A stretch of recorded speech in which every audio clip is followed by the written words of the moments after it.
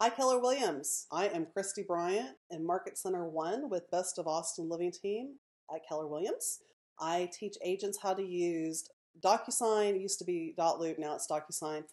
My intention is to share with you best practices for agents to fully utilize DocuSign. There are some great videos available for DocuSign in Command. However, I found that not all of them are uh, the full scope, and um, there are some hacks, best practices that I'm using. If you have some best practices you would like to share, feel free to upload a video or send me what it is, and I will share it with folks. And uh, make sure that you go into KW Connect because there is some great information in there. One side note, if you use zip forms, feel free to keep using zip forms. It is a high level way of using uh, Command DocuSign. However, I do not use zip forms. Uh, feel free to reach out to Crispin Martinez in Market Center 1. He is a high level user of zip forms. I am committed to using DocuSign as it is. Um, since not all states, not all market centers have access to zip forms. So we're going to get started. First of all, when we are uh, going into command, make sure that you open a new incognito window. And when you go in, you will put in agent.kw.com. Best practice. Well, actually, it's not even the best practice. What you have to do is you have to first have a contact and then the opportunity. You cannot create an opportunity without a contact. So you want to go ahead and go into contacts, click add contact, and create that contact. I'm going to be using Sally Smith today. She is already one of my contacts, so I'm not going to create her again. Once you have your contact, so if you're following along, you can pause this video, create your contact, and then uh, start again once you've created your contact. There are several ways of creating the opportunity. I could go into my contact, Sally Smith, click on opportunities over here on the right side of the screen and click on create opportunity. The second way is I can come over to opportunities here on the left side of the screen, and then I could click on create opportunity once that comes up. I want to fill out this information. Today, Sally Smith is going to be a buyer, so please choose buyer.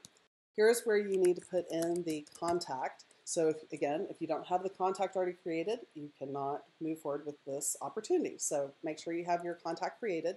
For the purpose of this training, we're going to be using one buyer. You can have multiple buyers. You can have two, three buyers, probably have more than that. Um, however, for this training, we're going to use one buyer. So I have Sally Smith in here. I could change the opportunity name if I wanted to. Fill out any of this information that you have. For the purpose of this, I do need a commission rate. You can see the little red asterisk here in order for us to move forward. We're going to go ahead and click on Create. And we're going to get started. We want to create some documents so we can move forward with this transaction. You'll notice when the opportunity comes up, it immediately takes us into details. It is important to note that you will see details on this screen here in Command, and you will see details within DocuSign. Yes, there are two different places for details. They do not autofill between the two, so you need to fill them both out. However, for what we're doing right now, I'm not going to spend time in Command filling out details. I'm going to click on Documents. I know that I'm in Documents because now there is a blue line hyperlink under Documents. When I was under Details, it had the blue line under Details. So I click on Documents, and I will see the first time that I come in here, start a transaction over here on the right side of the screen. For the purpose of this training, we're going to be using DocuSign. Please note that if you have set up dotloop as an application, within Command the same way that you've set up DocuSign, you're going to see both options. Once you commit to DocuSign or dotloop on this screen, then that is the option that you're going to be given moving forward for this particular opportunity. Uh, most market centers will no longer have access to dotloop, so I encourage you to start using DocuSign. And for the purpose of this training, we are going to use DocuSign. I'm going to click on that. Once I've clicked on DocuSign, it will take me into DocuSign. If you look at the top left of the screen, I am in Command. I have the one uh, URL tab for Command, and then it opened DocuSign, realestate.docusign.com. If you are in the habit of closing out the tabs, uh, you want to get out of that habit and keep them open. And to, in order to most effectively use DocuSign and Command, you need to have both of the tabs open. I need to have both Command open and DocuSign. So here I'm within DocuSign. It immediately takes me into a DocuSign room. It brings me into Sally Smith Buyer, which is the opportunity name, and it gives the same name as that opportunity to the room. This ID is important. I'll share more about that in another video, and it shows the date that we created it. It automatically takes us into documents. It has documents in its underline. I want to go into details. For those who are familiar with dotloop, the view details section in dotloop enabled dotloop to really work for you. It's the same within DocuSign. You need to spend time in the details page in order for DocuSign to fully work for you. On the left side of the screen, it's going to have information about the property, about the address. Since I'm working with a buyer right now, I do not have that information. If it was a listing, I would go ahead and put that information in. Right now, it's a buyer. I'm going to put the buyer under buyer rep agreement, so I do not have the information on the left side of the screen. I'm going to click on Edit here at the top right, and I'm going to fill out the people information on the right side of the screen. I do not have a seller 1. I do not have a seller 2. I'm going to keep on scrolling. I do not have a listing agent 1 or a listing agent 2. Then I have buyer 1. So it shows Sally Smith to pull that information in. Thank you, command, for pulling that information in. That's actually new. I'm going to put in any additional information that I have. If I have an address for Sally, by all means, I'm going to put it in. I do need an email address for her in order for her to electronically sign within DocuSign. So I have to have an email address. Surely I have a phone number because I'm going to be setting up an appointment with her. So surely I have a phone number. Any other information I have, I'm going to go ahead and put it in. I don't have her physical mailing address, but I do know she lives in Texas. Buyer 2, I do not have one for this transaction. Buyer Agent 1, this is me. I will share more information about using this little icon, people icon, in another video. For the purpose of this training, I want to put in a different email address. I do not want to put in the email address that command pulled in. I want to use my Best of Austin Living email address. So change anything in here that you need. This needs to be Keller Williams, Realty. Um, it has the correct address. I need to put in Austin my country, and Texas, and the postal code. Okay, I'm going to go ahead and click Save. So now I have enabled DocuSign to use uh, like pre-tagged roles. This is a very important page.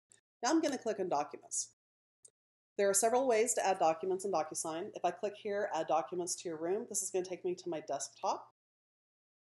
If I come over here to plus Add, and I go to Computer, same function, it'll take me to the desktop.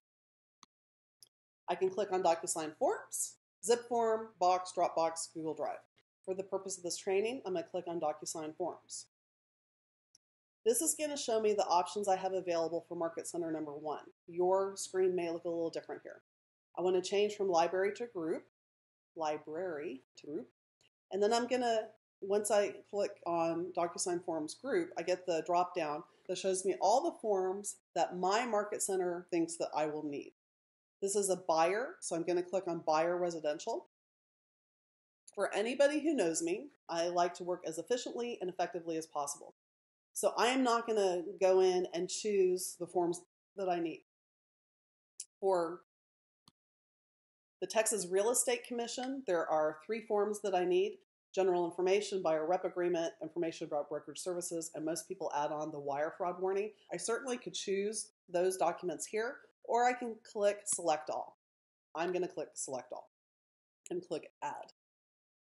On this particular screen, once the documents are pulled in, you have an option of how you want to see the documents. This is on the list view. For my brain, I like to look at the list some people want to see the grid view. You choose for yourself. I can change that here in the top right. Here, this is how the documents are sorted on the page. I have the newest showing at the top. I could change it to alphabetical. I could do the inverse, alphabetical Z to A. You can choose. So I'm going to go back to added newest. These are all active documents. It's the same as in dotloop. You cannot delete a document. However, you can archive a document. So if you ever think that a document has gone away, it hasn't. it most likely somehow just got archived, and so you could find it by going to all or archive documents here. So for the purpose of this training, we're going to go into the three documents that the Texas Real Estate Commission requires us to have. So general information. It says general information notice to sellers. It is the exact same document, so I'm fine choosing that.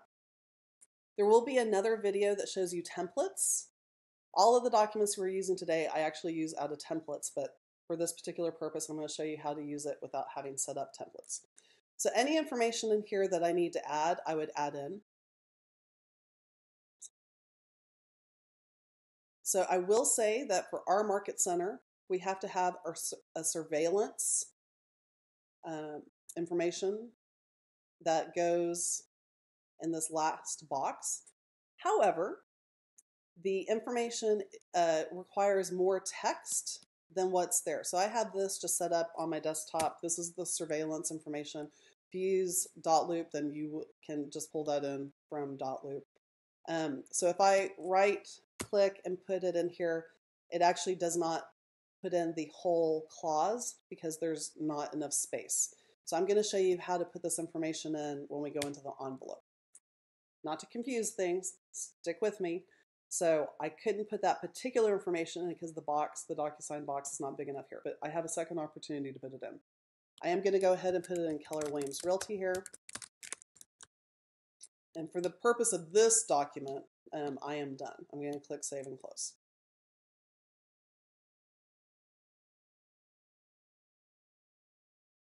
The next document I'm going to go into is information about brokerage services.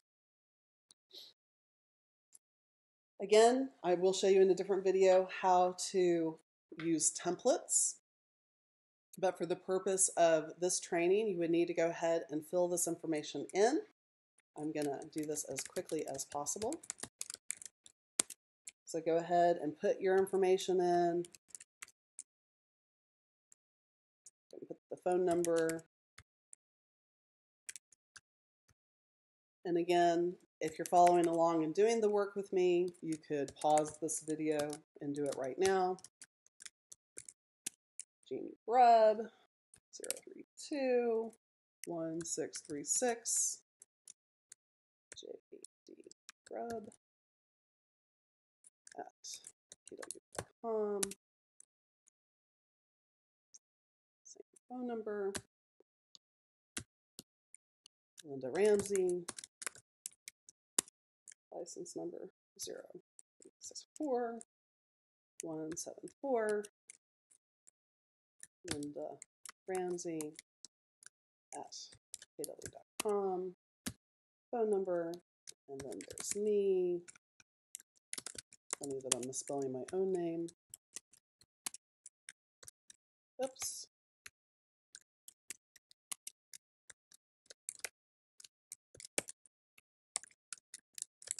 So I don't know about you, but I don't want to be typing this in every single time. So that's why in a separate video, I will show you how to use templates. Okay, so that's all that I need in here. I'm going to click Save and Close. And then our last document, the buyer rep agreement. I'm going to type in representation. Here's the buyer tenant representation.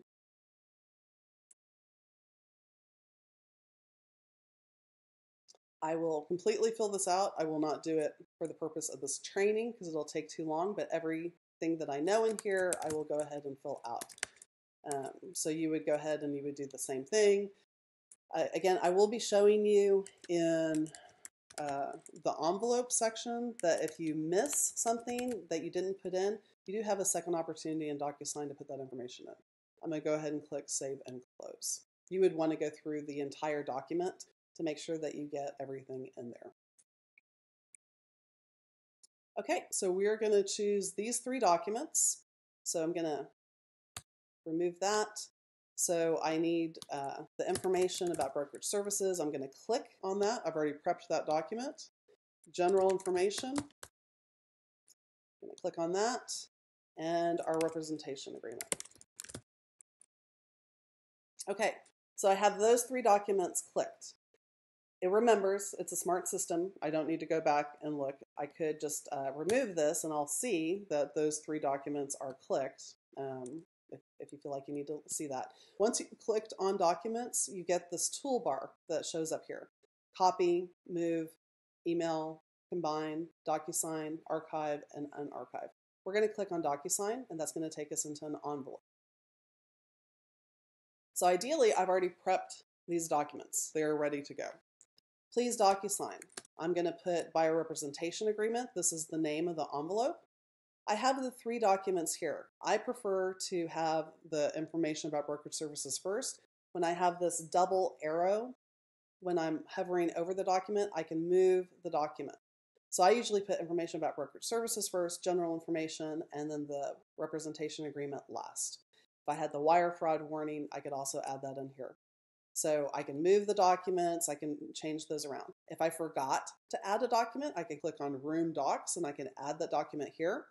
In the other video that I'm going to share with you, I'll show you how to add a template at this section. You can add templates from the envelope. So add recipients to the envelope. Since we put, let me move my little face here. Since we put information into the details page, we have activated the pre-tagged roles. I'm going to click on buyer one. Buyer one is going to be Sally Smith. I click on Sally Smith.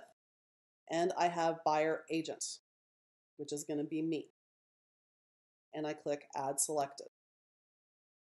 Once I do that, it gives me lots of options here for recipients. Buyer agent, I am in the habit now of receiving the documents first, signing first, and then having the buyer or seller um, sign them because it gives me a chance to make sure the documents are correct. I like being able to do this in DocuSign.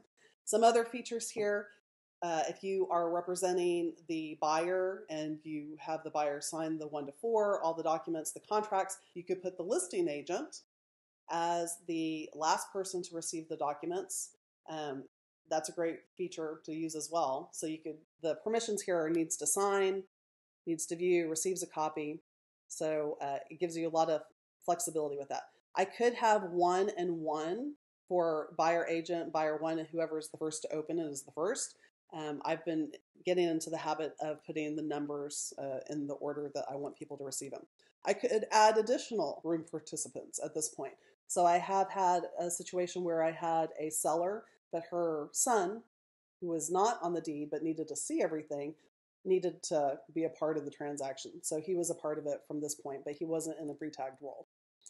The email, this is what you want to have the title that you're going to see, uh, that your client will see when they receive the email from you. In our market center, every single thing that we have clients sign, we ask them to please read, review, ask questions, and then sign. That is where I would put that message. I'm going to click on next in the top right. This will open up the documents one more time for me and I can add in the verbiage that did not fit when I was in the document a minute ago under the surveillance. So you'll notice at the top left it has Kristie, which is me, and Sally. So I can change the fields based upon the person that I have up here, the assigned role that I have up here in the top left. So information about brokerage services. I don't know why that is there, but we'll just move that down. So this is for DocuSign. DocuSign knows that I need the buyer to initial this and date sign. Since I'm using DocuSign for its full capability, I activated the pre-tagged roles. It already knows where the initial and date boxes need to go. So I encourage you to make sure you fill out the, the details page because then DocuSign will work for you and you don't have to be adding all this information in here. General information. So I will say that in general information, um, it normally puts the person's name there. So let me go ahead and add that in. It's an easy enough fix. I'm going to put name.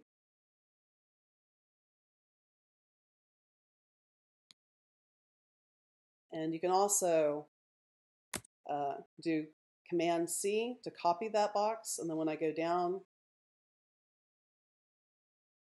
I will do Command V, that's on a Mac, to paste it.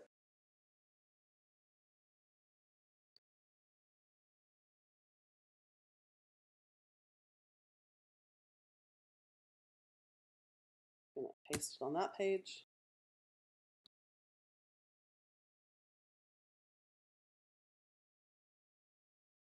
And then I'm going to copy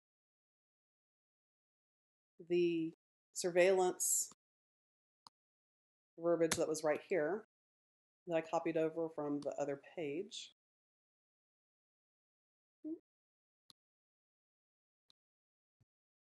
There I go.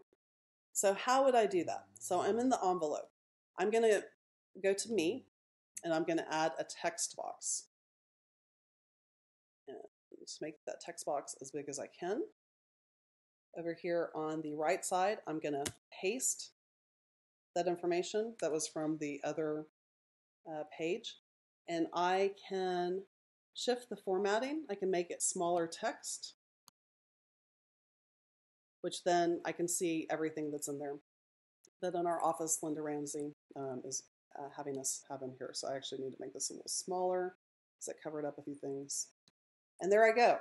So uh, you have some great functionality within DocuSign to be able to add things when you're in the envelope, um, which is different than in dotloop.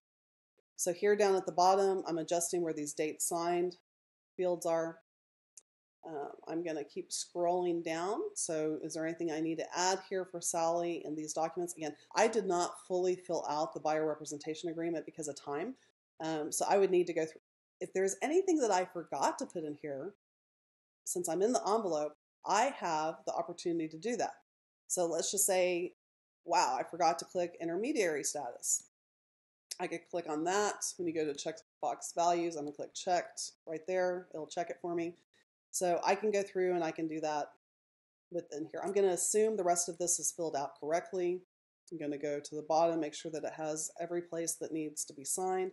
I will say that the formatting for date signed includes the dates uh, timestamp, which actually makes it really long. So I've gotten in the habit of moving over the boxes um, so that the this date stamp does not go over on top of the other uh, information. So let's go ahead. I'm going to put this in here since I see that it needs to happen.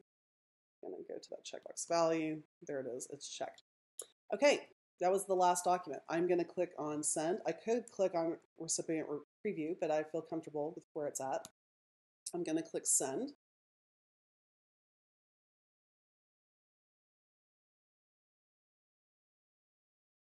And I am the first signer. If you'll remember, I put myself as the number one signer. So it is telling me that I need to sign, which is fabulous. I'm going to click continue. And also on my phone right now, it is letting me know that I need to sign because I have the DocuSign app on here. And so it's also letting me know that um, I need to do that. So I encourage you to get the DocuSign app on your phone. So I'm going to click on start and DocuSign will have me sign. So since I put this text box in here, I could make changes to it if I need to, but I don't need to change anything on here. I'm, I'm good on the fill in. I don't need to do that. So now I'm going to go ahead and sign.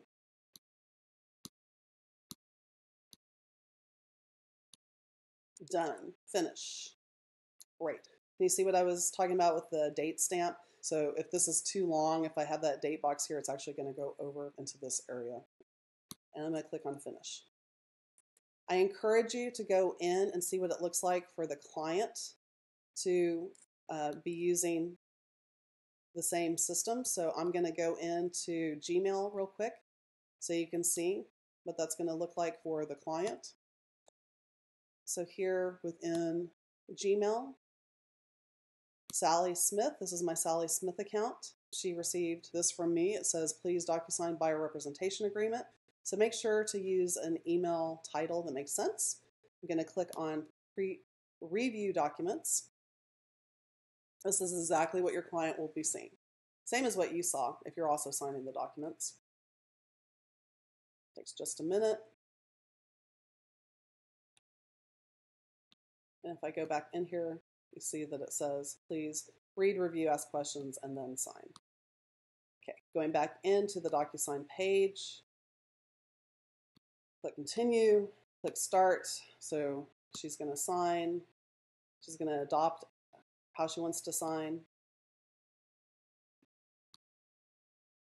Um, normally I would let it fill to where I could see where I'm signing, but for the purpose of what we're doing right now, I just want to finish. So that is what your client would see. I encourage you to go through that process. The client could save something right here. Um, they could go ahead and download it if they wanted to. I'm going to click no thanks. Okay, so I'm going to go back into where we were. So I'm going to close this. And when I go back into the room, okay, so this is taking me into another area.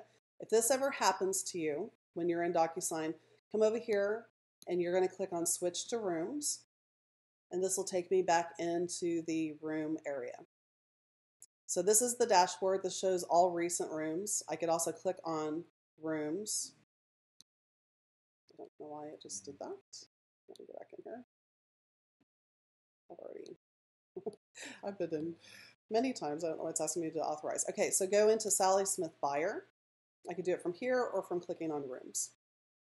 Now when I click on documents, and I'm gonna go back, I like, you know, I like the list view, and I'm gonna click on newest, it shows that these have been signed. So this is the certificate, the DocuSign certificate. I archived these, but now these documents have been signed, and it shows me that they've been signed, which is really handy. So at this point, this ends what I'm going to show you here today for DocuSign, and I will be uploading more videos. Let me know what you want more of. I hope this was helpful. Talk to you later.